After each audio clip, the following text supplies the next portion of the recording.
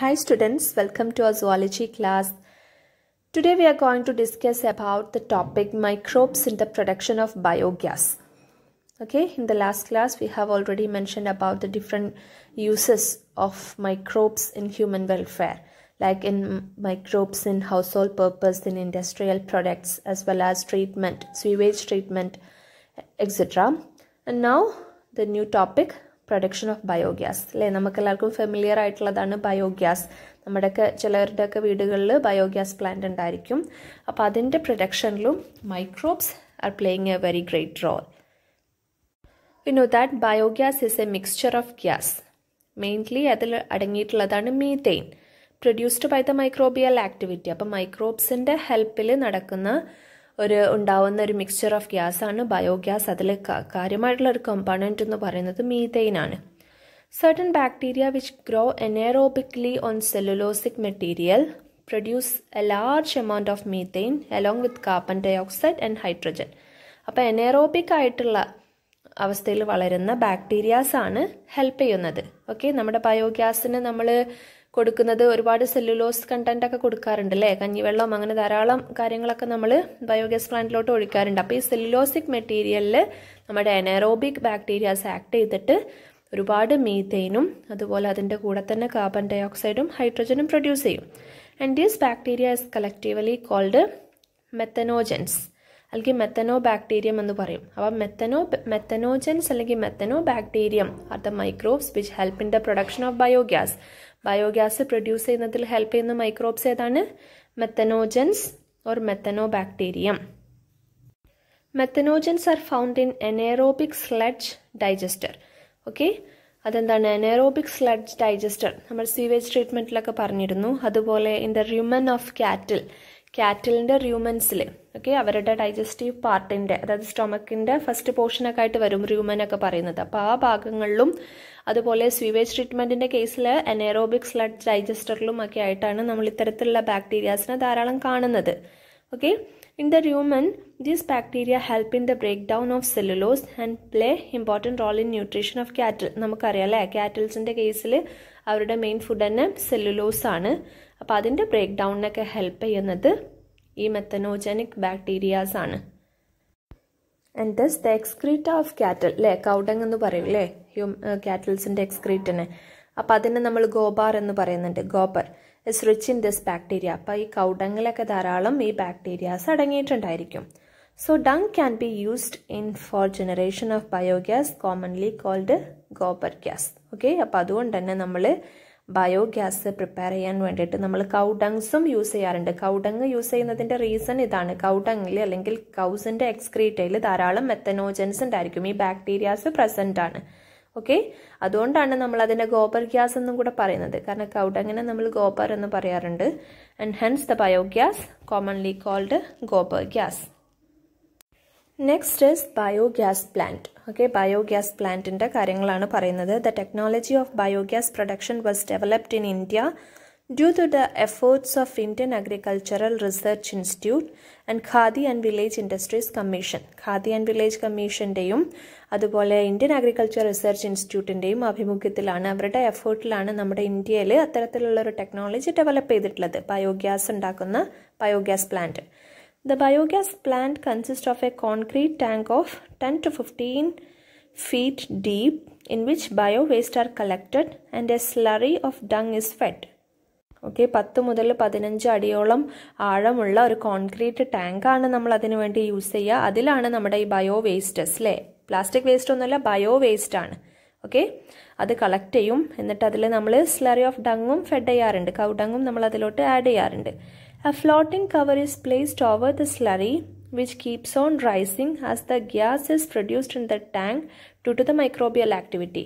അപ്പം നമ്മൾ ഈ ബയോ വേസ്റ്റഡും ഡങ്ങും അതിൽ ചേർക്കുമ്പോൾ നമ്മൾ പറഞ്ഞു ഓൾറെഡി അതിൽ ധാരാളം മെത്തനോജൻസ് ഡങ്ങിലൊക്കെ ധാരാളം മെത്തനോജനിക് ബാക്ടീരിയാസ് ഉണ്ട് അല്ലേ അപ്പോൾ അവ അവരുടെ ആ മൈക്രോബിയൽ ആക്ടിവിറ്റി മൂലം അതിൽ ഗ്യാസ് ഉണ്ടാക്കും ആ ഗ്യാസ് ഉണ്ടായി വരുന്നതിനനുസരിച്ചിട്ട് ആ സ്ലറിയുടെ മുകളിൽ വെക്കുന്ന ക്യാപ്പ് ഒരു കവർ വെക്കും. ഒരു ഫ്ലോട്ട് ചെയ്യുന്ന കവർ വെക്കും. അത് പൊങ്ങി പൊങ്ങി വരും.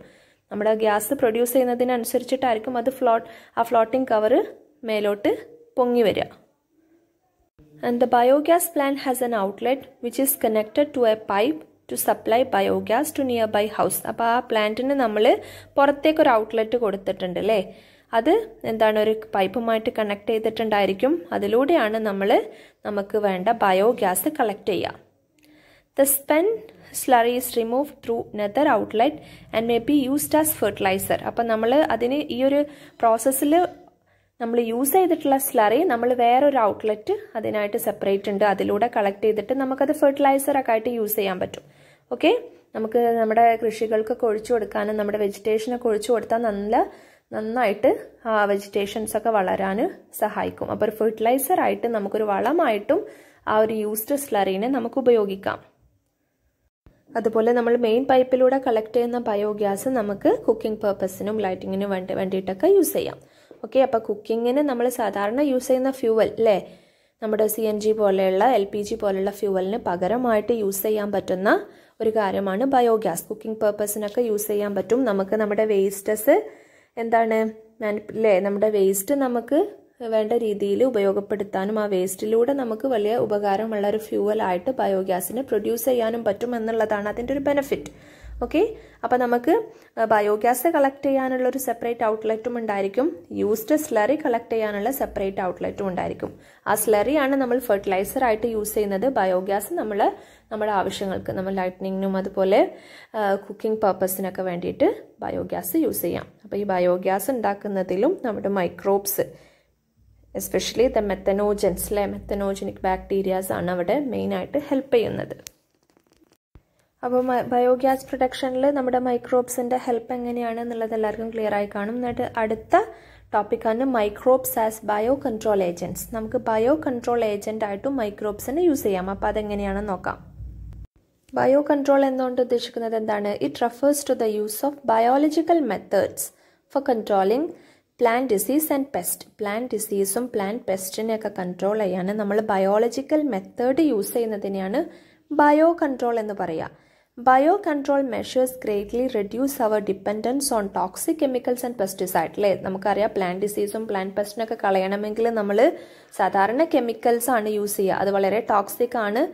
അതുകൊണ്ട് ധാരാളം സൈഡ് എഫക്ട്സ് ഉണ്ടാവും. അപ്പം അത്തരത്തിലുള്ള കെമിക്കൽസ് ആൻഡ് പെസ്റ്റിസൈഡ്സിനെ ഡിപ്പെൻഡ് ചെയ്യുന്നതിന് പകരം നമുക്ക് ബയോ കൺട്രോൾ മെത്തേഡ് ഉപയോഗിച്ചാൽ നമുക്ക് ധാരാളം ഗുണങ്ങളുണ്ട് അല്ലേ and we can look how it works. The organic farmers therefore work to create a system where the insects that are that are sometimes called pests are not eradicated but instead are kept at manageable levels by a complex system of checks and balance within a living and vibrant ecosystem. നമ്മുടെ ഫാമേഴ്സിനൊക്കെ എന്താണ് ഒരു മുഴുവനായിട്ട് നമുക്ക് അതിലുള്ള ഇൻസെക്റ്റും കാര്യങ്ങളൊക്കെ പെസ്റ്റിനെ ഒന്നും eradicate ചെയ്യാൻ കഴിഞ്ഞിട്ടില്ലെങ്കിലും ഒരു പരിധി വരെ ഓക്കെ ഒരു മാനേജബിൾ ലെവൽസിൽ നമുക്കതിനെ കൊണ്ടുപോകാൻ ഹെൽപ്പ് ചെയ്യുന്നതാണ് അതിന് എക്സാമ്പിൾ ആയിട്ട് പറയുന്നതാണ്. നമ്മുടെ ലേഡി ബേർഡ് കേട്ടിട്ടില്ലേ? Ladybird the beetle with red and black മാർക്കിങ്ങിന് നമ്മൾ ലേഡി ബേർഡ് അല്ലെങ്കിൽ റെഡ് ലേഡി ബീറ്റിൽ എന്നൊക്കെ പറയാറുണ്ട്. അതുപോലെ ഡ്രാഗൺ ഫ്ലൈസ് അറിയാലോ തുമ്പി. They are use to get rid of aphids and mosquitoes respectively ആഫിഡ്സിനെ കളയാൻ ലേഡി ബേർഡും അതുപോലെ മോസ്കിറ്റോസിനെ റിഡ് ചെയ്യാൻ കളയാൻ നമുക്ക് ഡ്രാഗൺ ഫ്ലൈസിനെയും നമ്മൾ യൂസ് ചെയ്യാറുണ്ട്. ഓക്കെ നമ്മുടെ ഫാം ഫാം ലാൻഡിൽ ഇത്തരത്തിൽ ബീറ്റിൽസിനെയും നമ്മുടെ ഡ്രാഗൺ ഫ്ലൈസിനെയൊക്കെ കൊണ്ടുവച്ചാൽ ഇത്തരത്തിലുള്ള ഒരുപാട് പെസ്റ്റിനെ നമുക്ക് അതുവഴി കൺട്രോൾ ചെയ്യാൻ പറ്റും. അടുത്തതായിട്ടൊരു കൺട്രോൾ മെത്തേഡ് പറയുന്നതാണ് introduction of bacillus thuringiensis B T അല്ലേ B T cotton B T brinjal എന്നൊക്കെ കേട്ടിട്ടില്ലേ?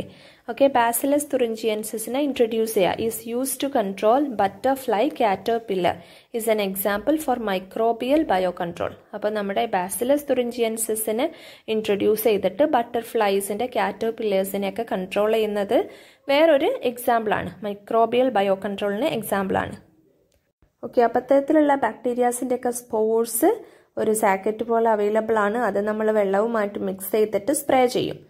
ഇത്തരത്തിലുള്ള ലാർവകൾ അടങ്ങിയിട്ടുള്ള ബ്രാസിക്ക ഫ്രൂട്ട് ട്രീസ് പോലെയുള്ള ഇൻസെക്ട് ലാർവ ഉള്ള നമ്മുടെ വൾണറബിൾ ആയിട്ടുള്ള പ്ലാന്റ്സിൽ അപ്ലൈ ചെയ്യാറുണ്ട്.